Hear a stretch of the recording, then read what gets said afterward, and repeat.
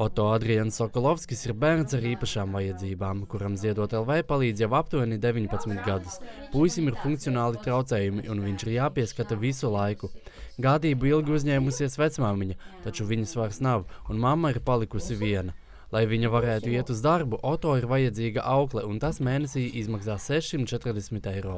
Ar valsts sniegto atbalstu nekādi nevarētu iztikt, saka puiša mamma. Ziedojumi ir palīdzējuši apmeklēt fizioterapeitu, logopēdu un veikt citas ārstniecības procedūras. Mēs esam vieni no pirmajiem, kas lūdz ziedot LV palīdzību. Toreiz tā bija, protams, rehabilitācija, Tā bija uh, mūzikas terapija, kas Oto ļoti, ļoti patīk. Viņš ir ļoti aizrāvies. Mūzika viņam, man šķiet, ir viena no dzīves nu, tādām. Nu, nu jā, jūs jau dzirdējat, jā. Arī Gundega, kas jau gandrīz desmit gadus sadzīvo ar migrēnu, saņem palīdzību no Ziedot LV. Galvas sāpes sievietei bijušas tik intensīvas, ka bijuši mēneši, kuros nācies izdzert 50 līdz 70 pretsāpju tablešu.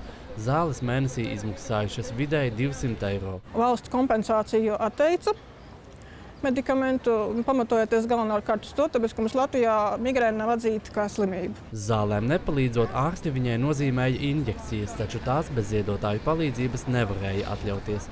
Sākumā viena deva maksājusi 550 eiro, tagad ap 300. Tāda nepieciešama ik mēnesi. Gundega teica, ka tagad lēkmes ir daudz retākas, vieglākas un dzīvi viņa redz citās krāsās, jo galva nesāp katru dienu. Ziedot LV darbības laikā Latvijas iedzīvotāji un uzņēmumi kopumā ir saziedojuši 73 miljonus eiro. Katru gadu vairāk kā tūkstots bērniņu saņem palīdzību e, vai simts e, onkoloģiskie pacienti. Tas nozīmē, ka e, divi cilvēki nedēļā ar vēža diagnozi ver mūsu biroja durvis un līdz palīdzību zāļu apmaksai, ko nesats valsts. Pērn organizācijai ziedojuši vairāk nekā 2000 uzņēmumu un aptuveni 144 tūkstoši Latvijas iedzīvotāju.